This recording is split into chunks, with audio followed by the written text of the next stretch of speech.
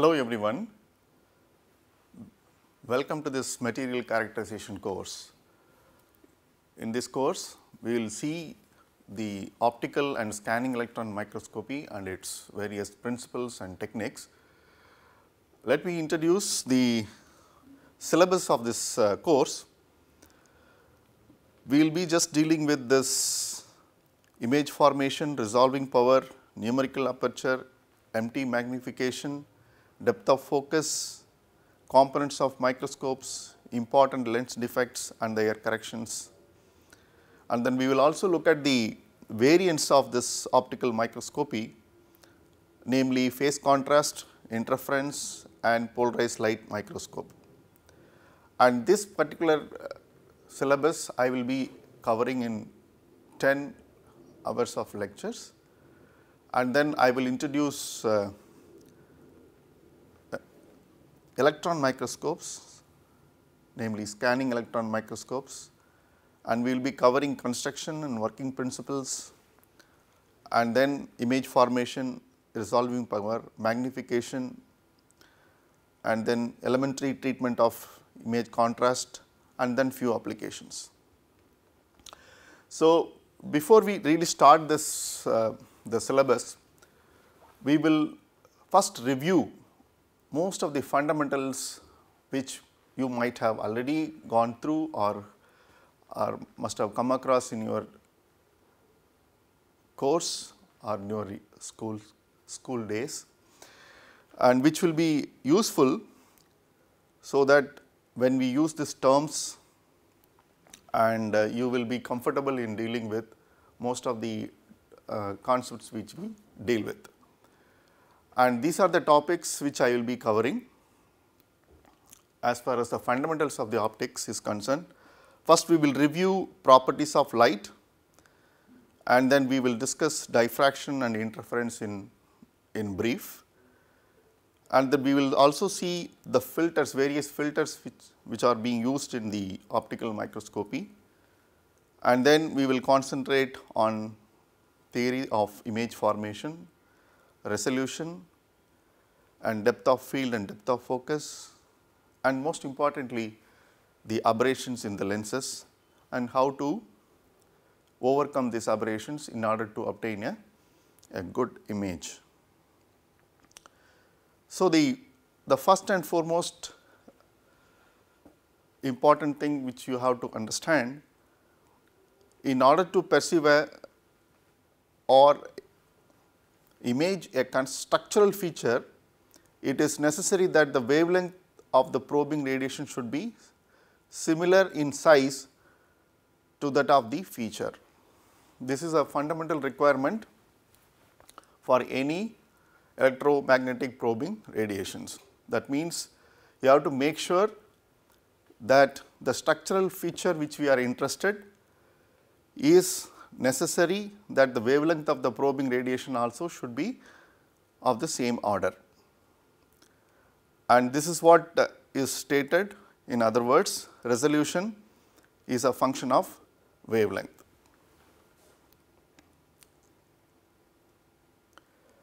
Let us look at this uh, slide. When we choose light as an probing of a matter, or light as a probe of a matter, what all the things we have to keep in mind. If you look at this, this is the, a complete electromagnetic radiation spectrum is given. And what you see is the, the left hand side is the resolution limit. And then you have the electromagnetic radiation classification. And then the size references is given.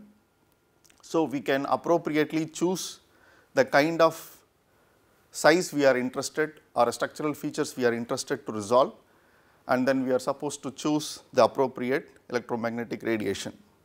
For example, if you look at this uh, even the the blue blue light which is which is far higher compared to the some of the biological red cells and so on. So, you can clearly see that the, the structural features all the way up to the atoms, you have the a corresponding electromagnetic radiation to choose.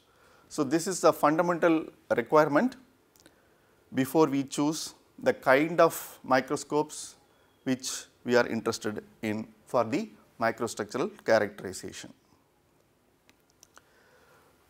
So, how to define a light?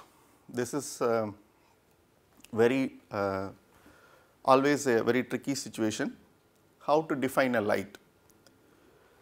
Because we all know that the electromagnetic radiation has a dual nature that is a, a, light will behave as a particle as well as a wave.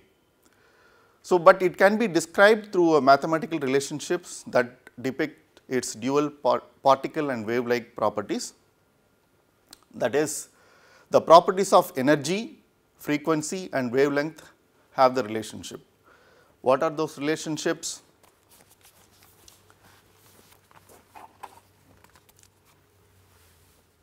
So, you have something called C equals nu lambda and this is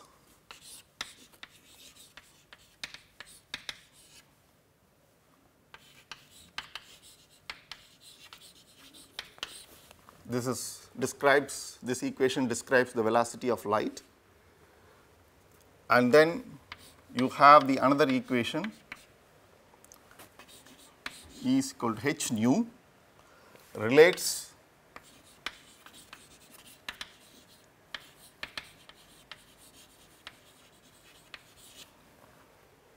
frequency and energy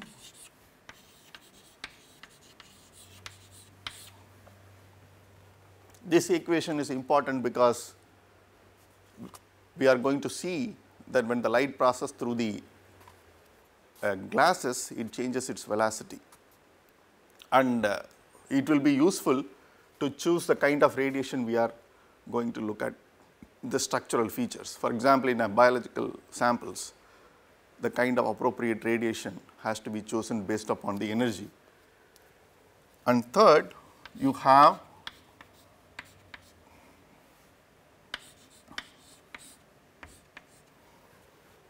which relates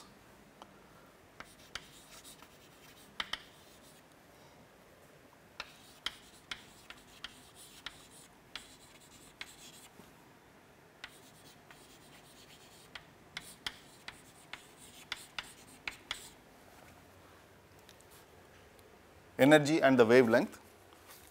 And uh, you can see that you know the wave electromagnetic radiation which will have the shorter wavelength will have a higher energy in the whole electromagnetic, electromagnetic spectrum. So, at least these three mathematical relationships explains the, the dual uh, nature of the light and then in an we should normally in, in an uh, optics we always use the uh, electron or a light as a wave and its propagation is always represented in terms of a wave nature. And then where to use a particle, where to use a wave, we have to choose in appropriate uh, situation. For example, when the light comes and interacts with a matter, at that point it is considered as a, a quanta that is a photons even for the uh, when we realize that when we record this uh, your images in an, uh, a quantitative measuring device like CCD camera where it is quantized. Okay. So, that means uh, at that situation it is called a quanta that is what it is written in the slide as a quanta are photons of electromagnetic radiation where the photons are detected as individual quanta of energy as photoelectrons on the surface of the quantitative measuring device such as CCD. So, at this point of time this is considered as a quanta or a particle in nature where the interaction point that interface it is considered a quanta. But all the other properties like when it when you consider the light as a propagate in, in a propagation mode and or the photon propagates then it is depicted like a wave as mentioned as shown here. So, what you see is a, a schematic of electromagnetic wave which exhibits an electric and uh, magnetic fields whose amplitudes oscillate as a sine function over dimension of space and time. So, these two fields are mutually perpendicular to each other and this is how the light is uh, defined when you consider its propagation to a one medium to other medium or when it propagates from one uh, uh, electromagnetic lens to the other electromagnetic lens. This is how it has been considered. So, this is another important uh, introduction for the light. And we always talk about in characterization of materials the quality of light. And let us see what are the quality of light and its classification. If you look at the slide we have an animation.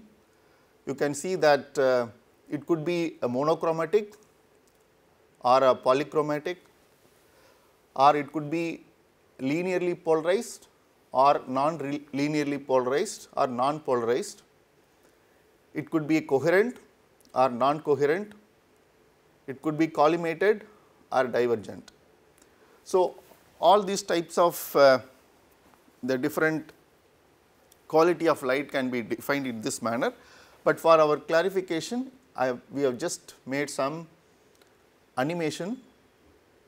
A monochromatic light will is supposed to be like this, it, the propagation is like this. On the other hand, if you look at the polychromatic, it propagates in this fashion. And what is linearly polarized? It is linear polarized and non-polarized will have all the directions, the waves will propagate in all directions. And when we talk about a coherent light, it should have all the waves in the same phase. A non-coherent light will have a different phase like this. A collimated beam is supposed to propagate in the same direction like this and a divergent beam will spread like this. So, you get by looking at all the schematics you get some idea about what, what do we mean by a, quality of light because in most of the circumstances we use this term uh, a monochromatic light or a coherent beam or polarized light in the coming lectures. So, this will give you a, a kind of an idea what do you mean by the quality of light.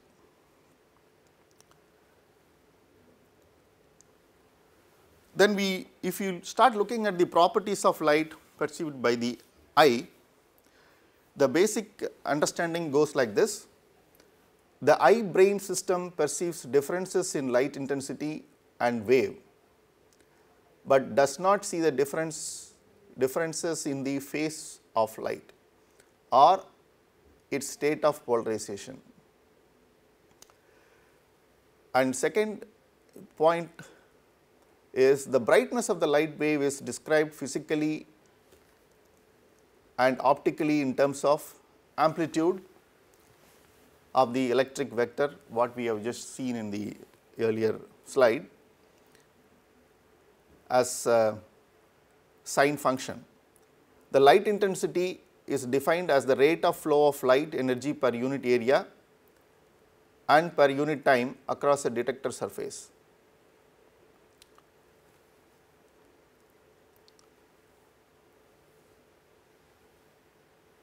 So, in order to understand the image formation in the microscope, we must consider it from the point of view of wave theory and then geometrical optics. The wave theory relates the information of resolution of microscope and quality of image and so on and the geometrical optics relates the information regarding magnification and type and positions of the image. So, if you look at this, the, the basic laws of the light or electromagnetic radiation, the first one always we consider as when the speed of the light waves is reduced, their frequency and it is unaltered, but the wavelength is shortened. Consequently, when the ray of light passes from one isotropic medium to another, it is refracted that is bent through the angle which is determined by the Snell's law. We all would have heard this fundamentals uh, fundamental law of light where when the light propagates from one isotropic medium to the other it bends or refracts that is first uh, law. The another law which is uh, very important related to the reflection is when the light is reflected at the surface it obeys another simple law. This is the the incident and the reflected rays make equal angles with normal to the reflect, reflecting surface and are coplanar in with nature. Or what it means is the angle of incidence is equal to angle of reflection. This is one of the important law of uh, reflection when you consider when do you say a light is reflected. So, this point uh, these, these, these two laws are very fundamental laws to define the properties of light. So, now let us look at the geometrical optics of a simple lens.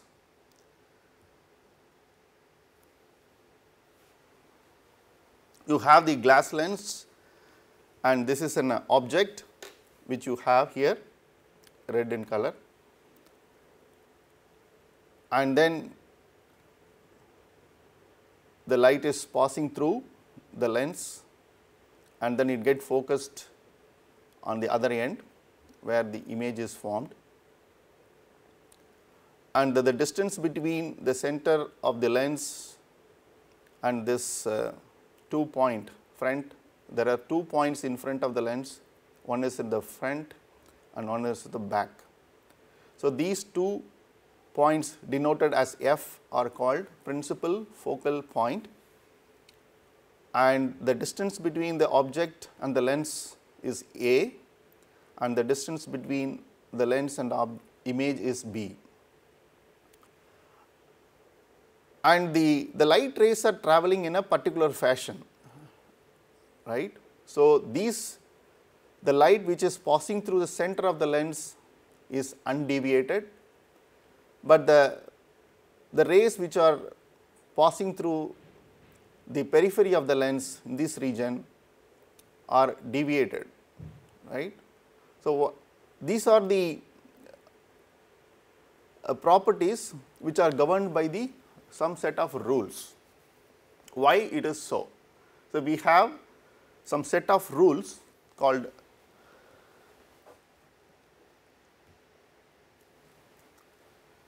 rules of ray tracing for a simple lens. These rules are an assumption on the Snell's law. Okay, the Snell's law is not strictly followed, there is some assumption like sin i by sin r is equal to mu we say. It is some assumption based on then the sin i by sin r is equal to i by r. We will not get into the details, but I just want to mention that these rules are based on some assumption of the Snell's law and let us see what are these rays, uh, rays uh, rule. There are three primary rules governing the ray tracing for a simple lens and are uh, and we will show in the figure also. We will first see what are the rules. A light ray passing through the center of a lens is not deviated. A light ray parallel with the optic axis will after refraction pass through the rear focal point. A ray passing through the front focal point will be refracted in a direction parallel to the axis. So, let us see whether these three uh, rules are indeed the case. Uh, so, if you look at this uh, schematic, the first image A shows a light ray passing through the center of the lens is not deviated that is the first uh, rule. A light ray parallel with the optic axis will after refraction pass through the rear focal point. So, this is the rear focal point. A ray passing through the front focal point will be refracted in a direction parallel to the axis. So, this is what it is. It is it is parallel to this axis. And notice that the intersection of any two of the three ray just described identifies the location of the image plane. So, this is the image plane where these two diffracted beam interacts and that describes where the intersection point is shown as an image here. We will now see uh, what are the conditions to form an image.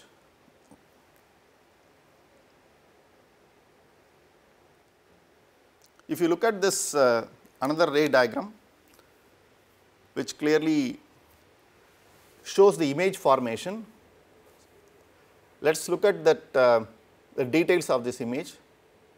Here is an object AB and then you have this objective lens and then you have the image formation A dash B dash. This is an inverted image.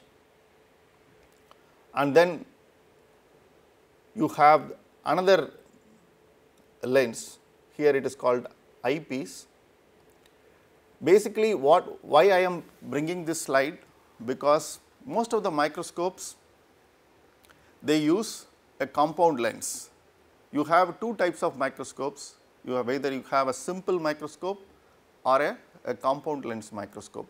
In a simple microscope, you will have only one set of lens where uh, you will have the reflection type and you have in another, another microscopes you have an objective as well as eyepiece.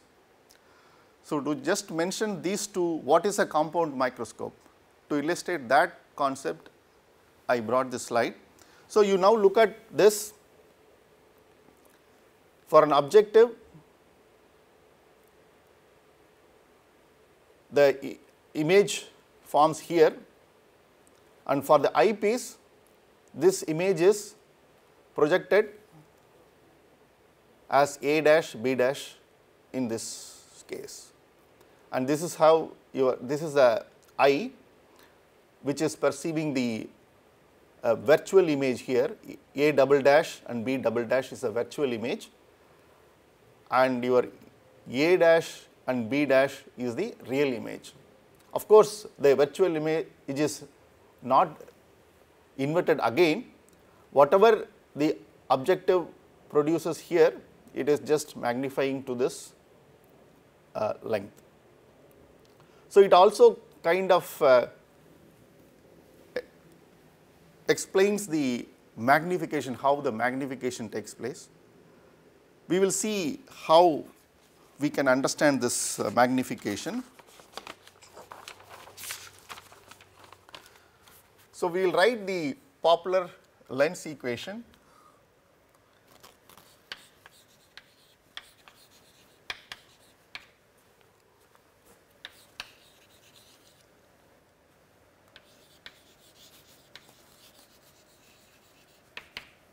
that is 1 by f equal to 1 by u plus 1 by v. So, here instead of a and b I have used uh, u and v which is very common notation in the optics. So, u object distance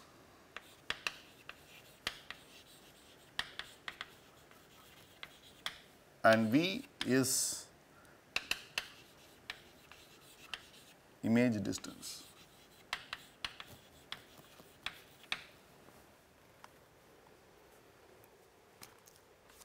So, we should also know that the image at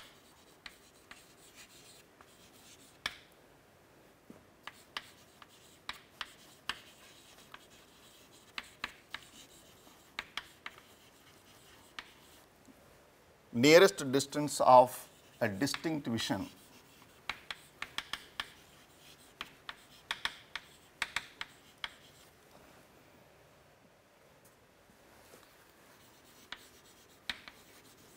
which is about 250 mm or 25 centimeter. This is normally denoted, as D, capital D. This is what we, this is the minimum, uh, nearest distance with which we are able to see any of the object with our normal vision, which is 20, 250 mm. So, normally we write magnification is V by U. So, this is the magnification given by any of any lens. And combining this suppose if you combine these two that is let us call this uh, as equation 1 and this is 2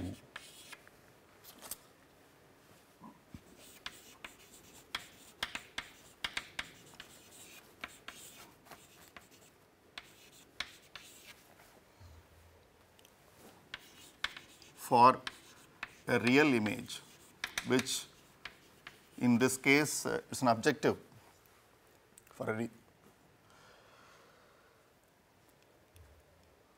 so you put u equal to v by m and then substitute this in this equation 1 by f minus 1 by v is equal to m by v, then with this we can write m is equals v by f minus 1. This is equation 3 and for virtual image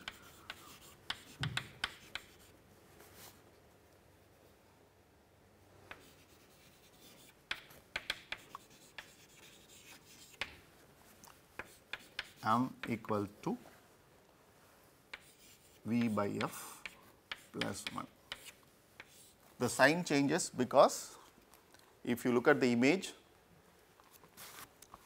if you look at this image for objective it is in one direction. Now we are talking about eyepiece, so this is in the opposite direction. So that is why the sign changes here so, this is for the virtual image which our eye sees. This is equation 4. So, now we can write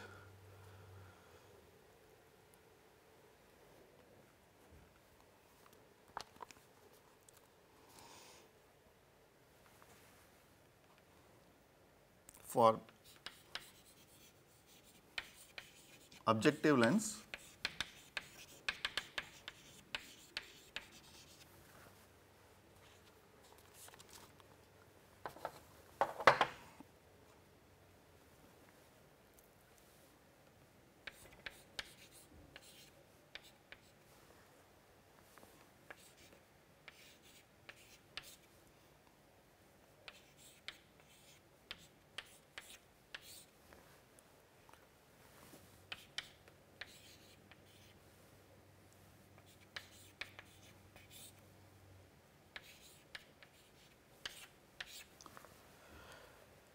So, this is for objective lens magnification. The, the subscript O describes objective lens for the magnification.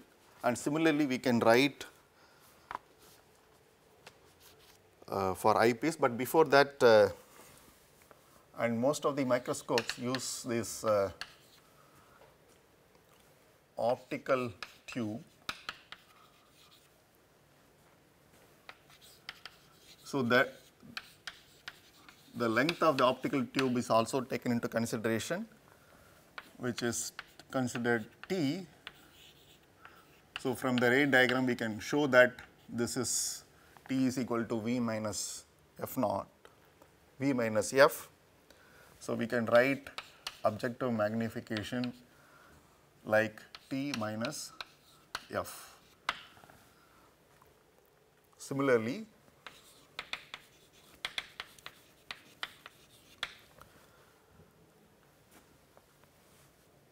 the magnification of the eyepiece can be written like this.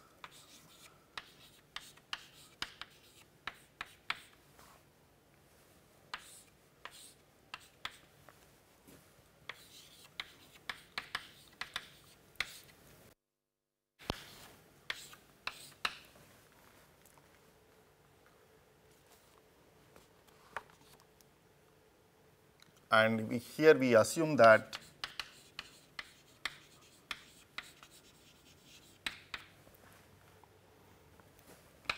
the image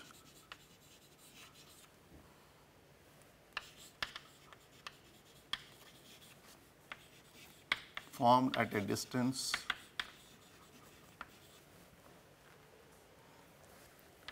Of distinct vision.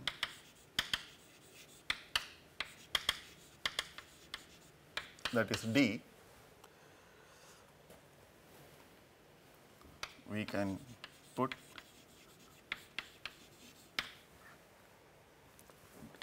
D is equal to VE plus FE. In objective, we use this uh, optical tube length. In image, we use this distinct vision D, which is 250 nanometers, or sorry, 250 mm, that is 25 centimeters. So, if we can substitute this into this magnification of eyepiece, then it is D by FE.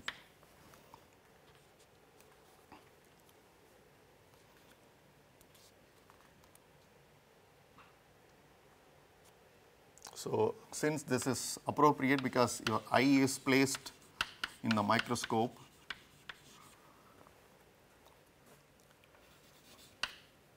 at the exit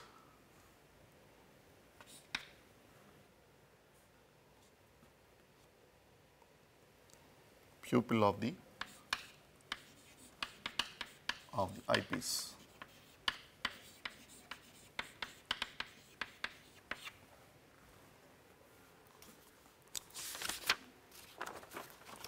So, now we can write the total magnification.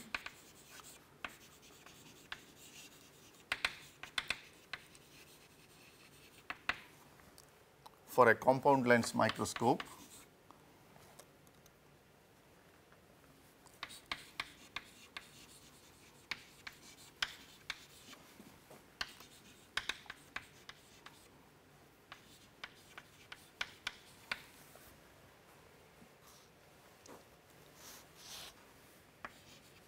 is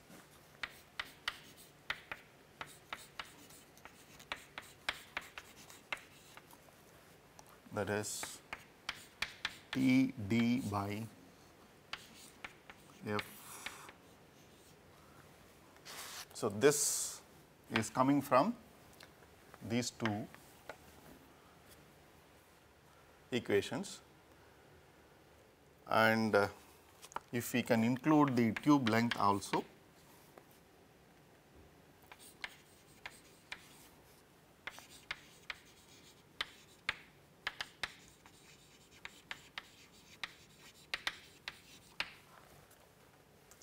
So, m total magnification is equal to objective magnification times eyepiece magnification times this optical tube length.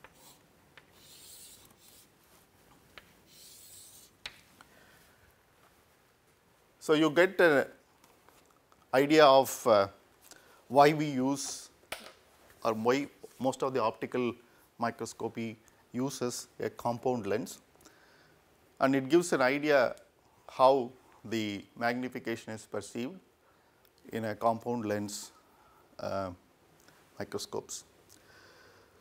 So, let us uh, look at the uh, another concept called uh, diffraction.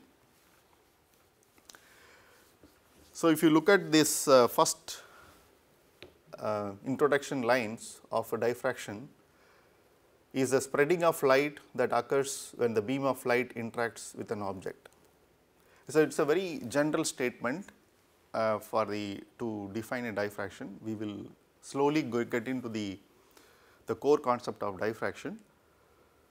So, before you um, get into the idea of diffraction, let me just uh, talk about uh, some of the general things.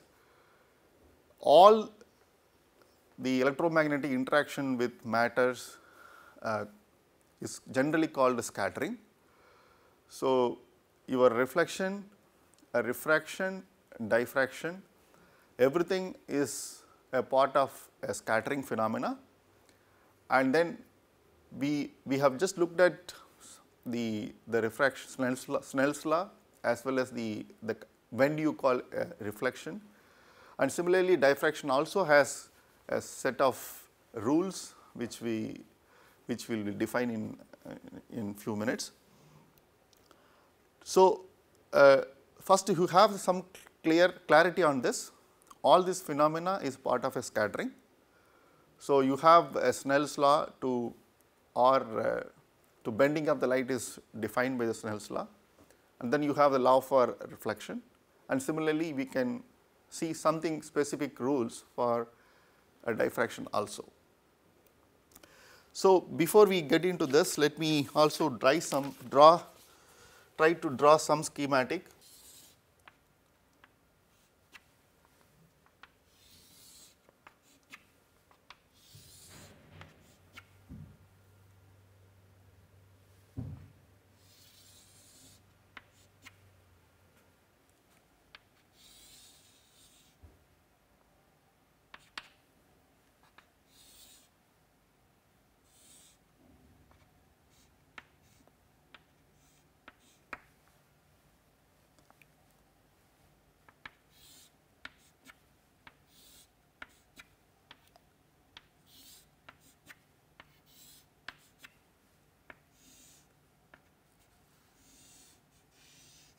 So, what I am trying to draw is when the light passes through a, a edge like this, it produces a, a shadow here. This is because of diffraction. This is one of the manifestation of diffraction. I am not trying to define a diffraction here, but just the effect of diffraction. Then these things will help you to understand the concept much more easily. So, this is a when the beam of light comes and it exits through an edge like this and then you have the shadow. Let me draw this.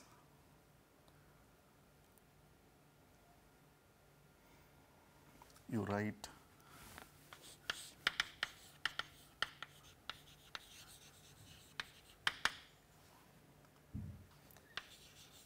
diffraction of light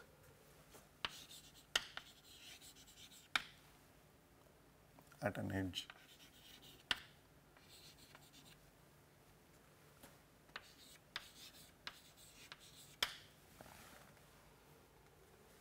This is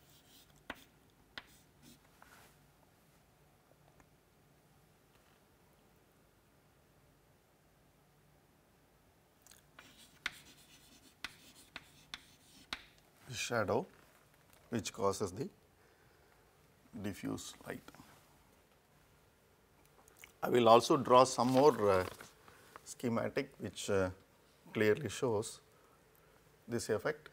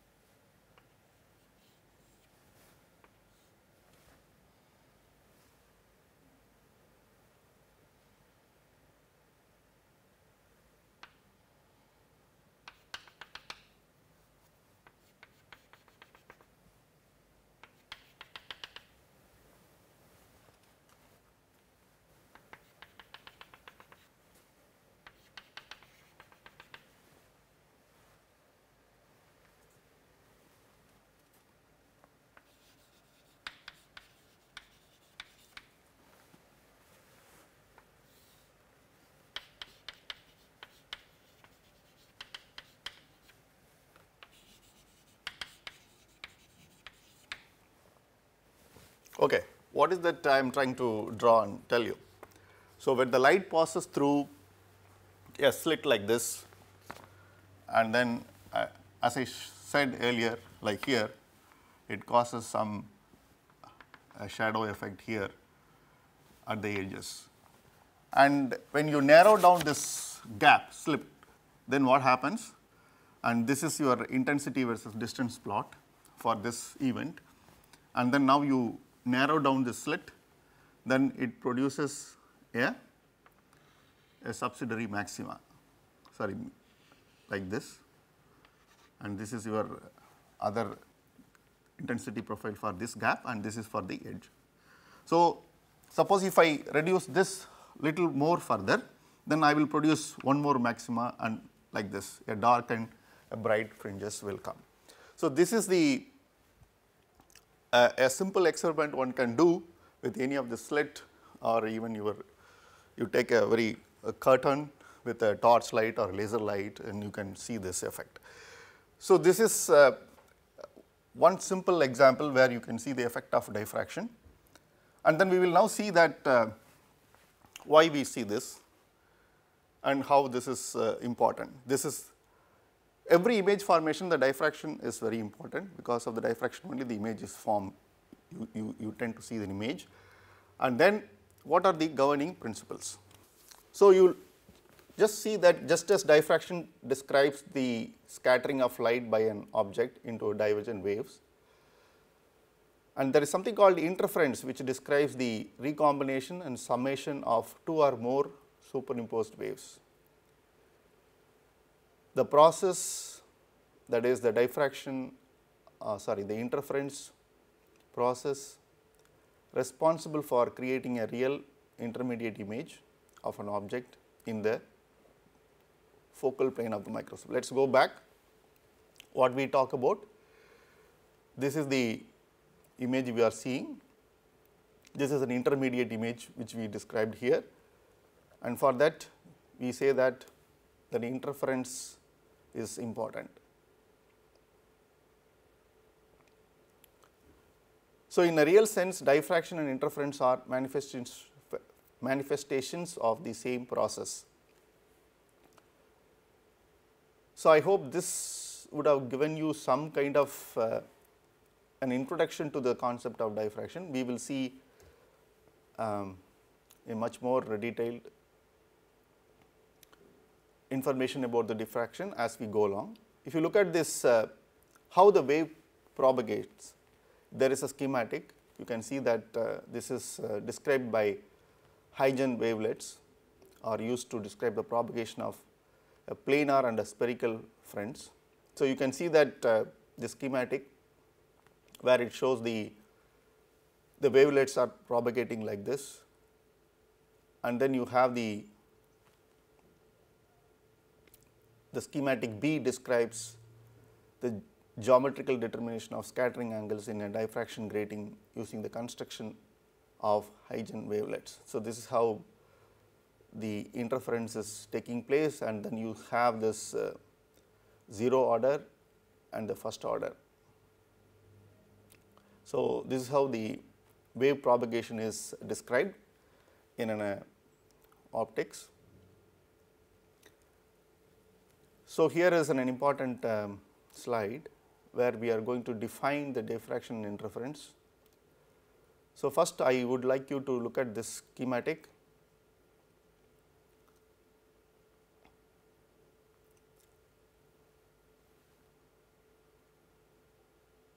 So, where the, the event A describes the constructive interference that is the arithmetic sum of amplitudes of the two original waves.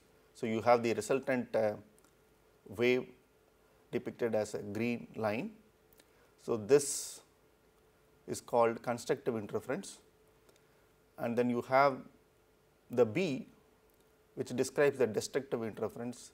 You can see that the resultant wave has much lower amplitude compared to the constructive interference. Okay.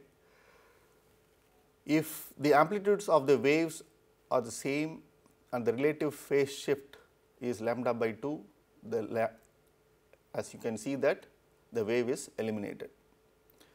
So, this is another important uh, uh, rule one should uh, keep in mind when you uh, think about diffraction, though the constructive and destructive interference play a, an important role in order to perceive the diffraction phenomenon. So, let us move on to next concept. Now, I will take you to the image formation involving diffraction, how the image is perceived in a lens through a lens from an infinite periodic object. First you just observe this schematic, then we will discuss that. So, you have the object where you have it is a periodic object with uh, q1, q2, q3 with equal distance and and you have the light rays pass through this lens. Remember all this rays tracing this uh, trajectories if you can look at the rules of the rays they will all follow the same thing that is the the light which is passing through this center of the lens will go through undeviated. The rays which is passing through the peripheral of the lens will deviate and then it will go to this image plane. And what I would like you to just concentrate on this, look at this each, uh, each ray and then where it goes. and then you have something called principal focal point like I mentioned in the earlier slides and I have not shown the other focal point in this the, the, other side of the lens. So, this is a principal focal point uh, it is a back focal plane this is plane is called back focal plane f naught is a principal focal point and f 1 and this is supposed to be f 1 dash. There are other points. These points are nothing but a diffraction pattern. These each focal point is called a diffraction pattern and this plane is called a back focal plane. So, now you remember your diffraction pattern forms in the back focal plane in the ray diagram. And then what is the significance? You see that uh, all the diffracted ray converges here from the different different uh, source and then and then again it diverges and then recombine in the image plane. So, the important point to remember here is suppose if you if you look at only any one of this diffracted spot since the rays which is coming out of this diffracted spot go to the different uh, location in the image plane that is also important. So, that means you should have what it means is each diffracted spot in a back focal plane contains some information about the image. This spot will have some information about the image and this spot will have some other information about the image. So, it means the before the image formation your diffraction takes place and each diffracted spot carries some information about the image. So, this is what very important and then if you look at this uh, image plane also you see at least two diffracted beams recombine to form this image. You can see any one of this spot in the image plane it contains at least two diffracted spot before it forms an image. So, that clearly shows that the image formation involves diffraction in first and then the recombination of the diffraction beam in the image plane. So, I will just play this one more time just observe. So, light comes and I will stop here then again I will start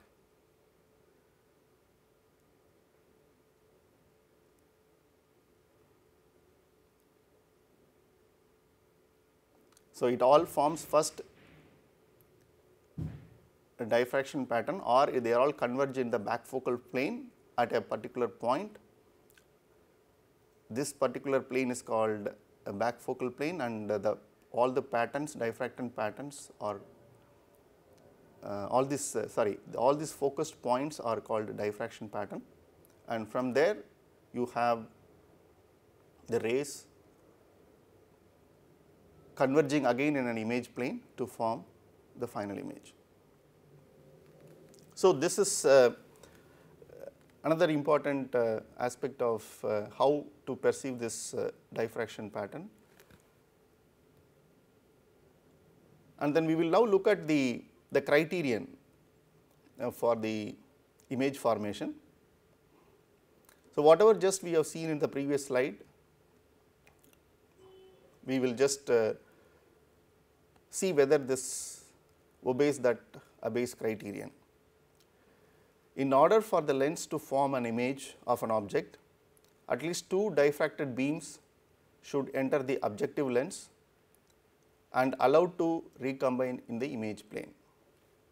So, you can just go back and see at least two diffracted beams you can just count 1, 2 and then 3. Here you have 3 so, we, the law says at least 2. So, definitely it obeys that uh, criterion for the image formation.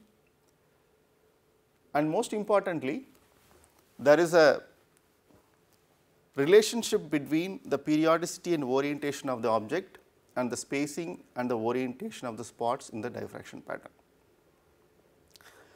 So, the com combination of two diffracted beam in an imaging plane is a uh, criterion defined by an Abbe and then how this diffraction pattern is going to be useful that is what we are going to see in the next.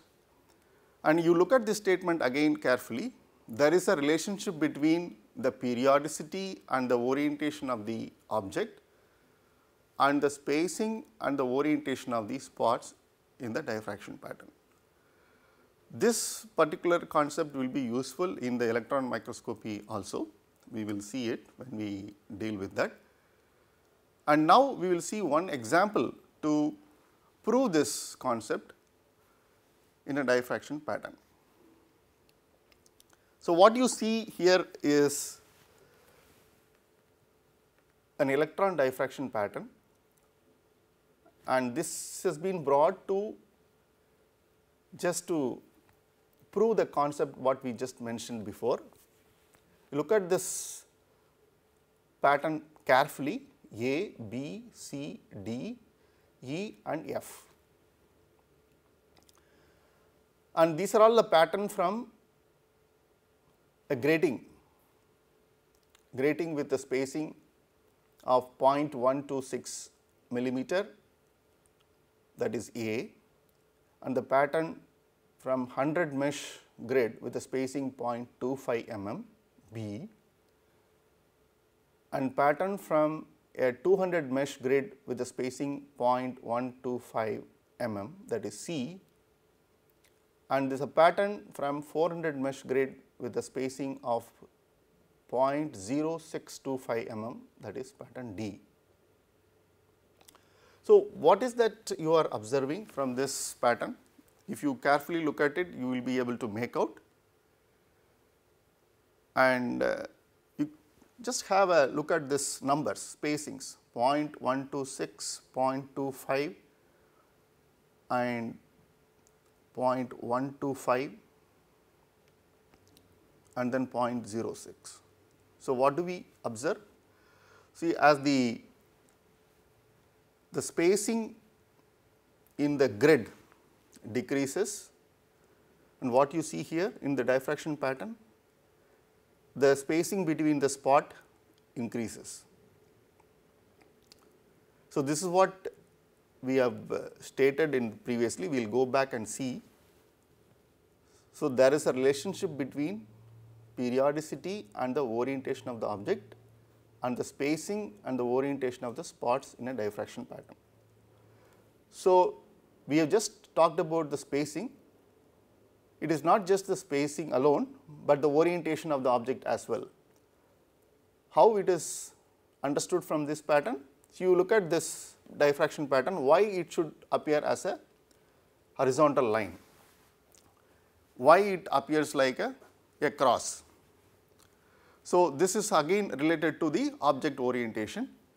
So, from the diffraction pattern you get the two information about uh, the spacing between the objects or the orientation of the objects. So, the diffraction is pattern is a very powerful tool or powerful information it gives about the object what we see. So, we will look at this uh, in much more detail later just want to uh, introduce this concept of diffraction how it occurs and what it causes and what information you get from this. So, at least uh, that information you should know as an introduction. We will now move on to the topic a concept called resolution. First let us look at the introduction remarks. Resolution rather than magnification is usually the prime concern of the skilled microscopist. It is the smallest separating distance d that can be discerned between two lines in the image. So, you should not confuse this resolution with the magnification. Magnification is very different. Uh, we have just uh, seen some of this, but we will also see about the magnification much more details. So, do not confuse with the magnification with the resolution. This is it is the smallest separating distance that can be discerned between two lines of the image for an unaided eye at, at the least distance of the comfortable vision which we, we talked about about 250 mm which can resolve 0.1 mm. And then resolution is determined by the wavelength lambda of the radiation and the numerical aperture of the objective and it is expressed by the formula d equals lambda divided by 2 times numerical aperture. So,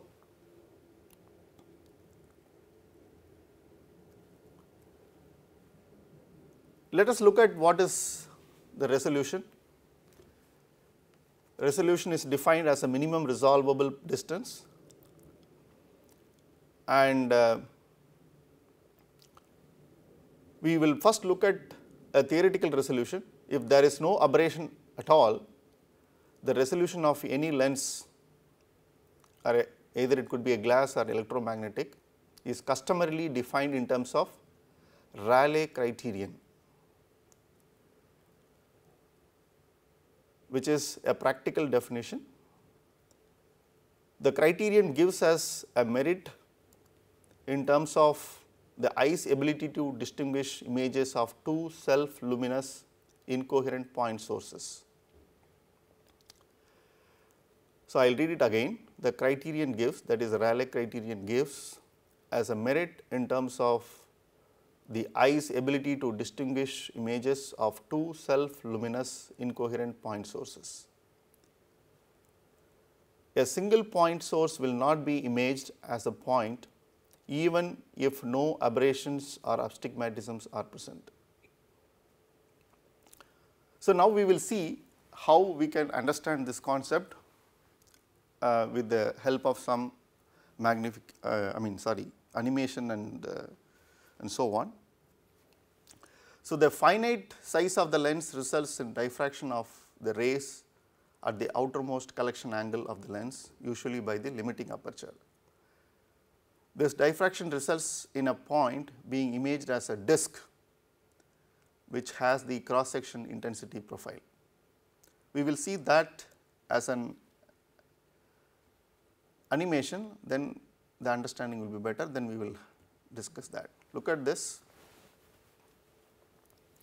This is a self luminous point source 1 and this is point source 2 P1 and P2. When these two point sources are coming and merging with each other then it produces higher intensity point source and if you look at the animation C it just come closes and then stops at a point where our eye can discern this two self luminous point as an individual sources which is which is a fixed number. In this case you look at this the the maxima of the primary source here is overlapping with the minima of the next source. This is these two are in the same line. The maxima of the primary source is matching with the or overlapping with the minima of the next source. And this two distance is 0.61 times of lambda by beta and this particular dip in the intensity occurs at approximately about 80 percent of the maximum intensity. So, this is the, the physical interpretation of the Rayleigh criterion.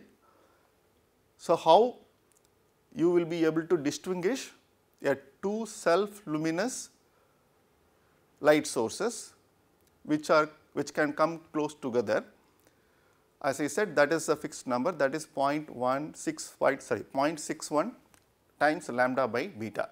The lambda is the wavelength, beta is the semi aperture angle.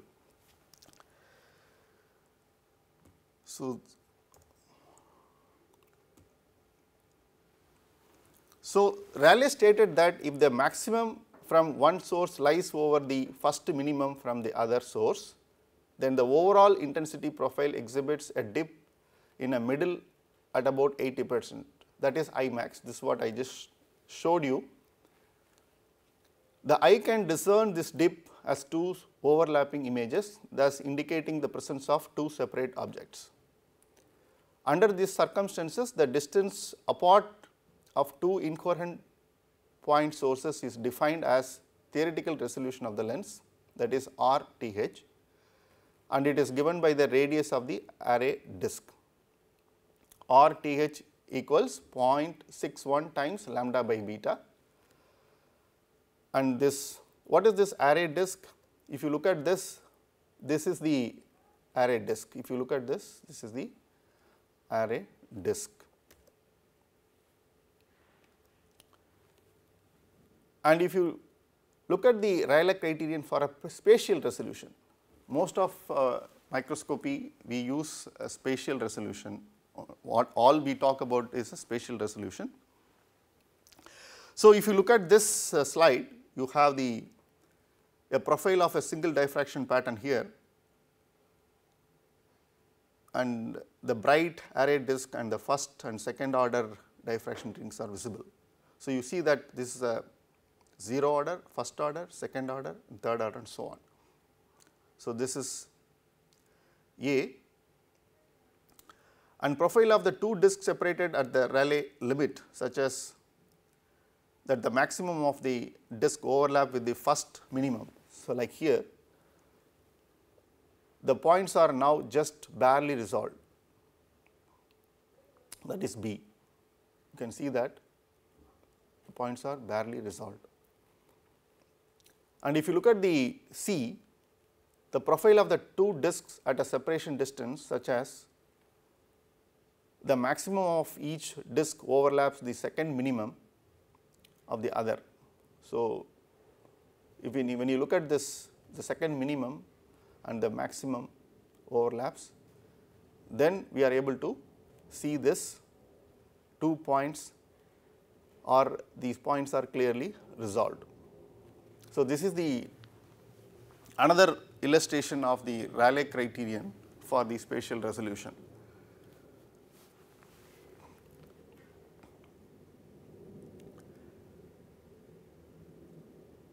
Now, we will just look at what is numerical aperture because uh, we use this term in the I mean resolving power or resolution definition. The numerical aperture value indicates the light gathering power of the compound lens system and it is obtained from the relation numerical aperture equals n sin alpha where n is the refractive index of the medium between the front lens face of the objective and the specimen.